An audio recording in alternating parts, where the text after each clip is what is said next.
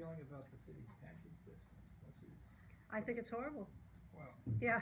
so the next question is, how can it be made less horrible? And I would think that's, it's not an overnight process. No, it is not an overnight process, and I think there's been neglect for a long time. And uh, um, my colleague, uh, Tim Allen, certainly brought it to the attention of uh, uh, the administration and the council. And, and this year there was, uh, I think, 34 million, a much better allocation to that. But I mean, that that's a huge responsibility because of all your retirees who are not going to be able to earn more money who are dependent on that and, and future employees and uh, you know you have a real uh, moral and fiscal obligation to improve it but again you know the city council in our role we can only cut you know so we don't allocate i mean it would be uh, a whole different pro- budget hearing could be probably very lively i think if uh, if we could add to it. But no, it has to be addressed because uh,